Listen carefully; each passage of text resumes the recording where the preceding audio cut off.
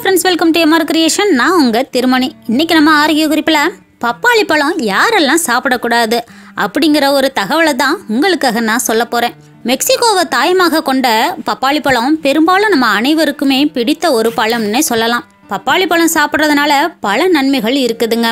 வயிறு முதல் உறுப்புகள் வரை பல நன்மைகளையும் கொடுக்கக்கூடியது. இந்த விஷயம் நம்ம எல்லாருக்கும் தெரிஞ்ச ஒன்று தான் அதே சமயம் பப்பாளி பழம் சாப்பிட்றதுனால சில தீமைகளும் இருக்குதுங்க. பப்பாளி பழம் யாரெல்லாம் சாப்பிட வேண்டும்? யாரெல்லாம் சாப்பிடக்கூடாது என்பது குறித்து உங்களுக்கு தெரியுமா? இன்று பப்பாளி பழம் சாப்பிடுவதால் ஏற்படும் பக்க விளைவுகள் குறித்தும் யாரெல்லாம் பப்பாளி பழம் சாப்பிடக்கூடாது என்பதை குறித்தும் தான் முக்கியமாக சொல்ல போகிறேன் முதல்ல கர்ப்பிணி பெண்கள். பப்பாளி பழத்தை சாதாரணமாகவோ அல்லது பப்பாளி காயை சமைத்தோ கர்ப்பிணி பெண்கள் சாப்பிடக்கூடாதுங்க. பெரும்பாலும் இது அனைவரும் அறிந்த ஒரு விஷயம்தான். ஏன்னா பப்பாளி உடலுக்கு வெப்பத்தன்மையை கொடுக்கக்கூடியது. எனவே கர்ப்பிணி பெண்கள் தொடக்க காலத்தில் பப்பாளி பழத்தை சாப்பிடும் பொழுது வயிற்றுள்ள கருவிற்கே இது தீங்கு விளைவிக்கக்கூடியது. மேலும் இதன் காரணமாக கருச்சிதைவு கூட ஏற்படக்கூடிய அபாயம் இருக்குன்னு நம்ம எல்லாருக்குமே தெரிஞ்ச விஷயம்தான். அதனால கர்ப்பிணி பெண்கள் பப்பாளியை சமைத்தோ பப்பாளி பழமாகவோ சாப்பிட வேண்டாம்.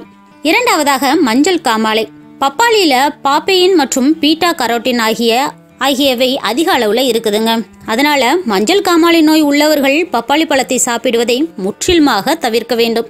இந்த பாப்பையினி மற்றும் பீட்டா கரோட்டின் காரணமாக மஞ்சள் காமாலை அதிகரிக்கிறதுக்கான வாய்ப்பு இருக்குதுங்க. எனவே மஞ்சள் காமாலை உள்ளவர்கள் மருத்துவர்களின் ஆலோசனை அடிப்படையில் தான் பப்பாளியை எடுத்துக்கொள்ள வேண்டும்.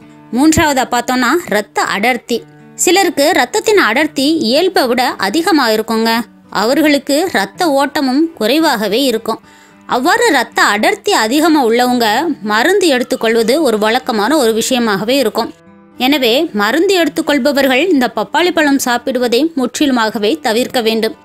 அப்படி சாப்பிட வேண்டுமென்றால் மருத்துவர்களோட ஆலோசனைக்கு பிறகுதான் இந்த பப்பாளி பழத்தை சாப்பிடணும். அடுத்தது பாருங்க குறைந்த சர்க்கரை நோயாளி.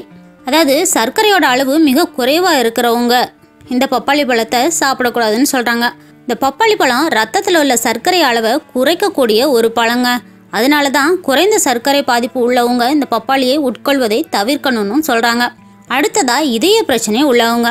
இதயம் சம்மந்தப்பட்டான பிரச்சனைகளால் அவதிப்படுறவங்க பப்பாளி பழத்தை அதிகமாக உட்கொள்ளக்கூடாது. இந்த பப்பாளி பழத்தை அதிகமாக உட்கொள்றதுனால குறைந்த இதய துடிப்பு ஏற்படக்கூடிய ஒரு அபாயம் இருக்குதுங்க. அதனால மருத்துவர்களோட ஆலோசனையின் அடிப்படையிலேயே இதய பிரச்சனைகள் இருப்பவர்களும் பப்பாளியை உட்கொள்வதே நல்லது. Thank you friends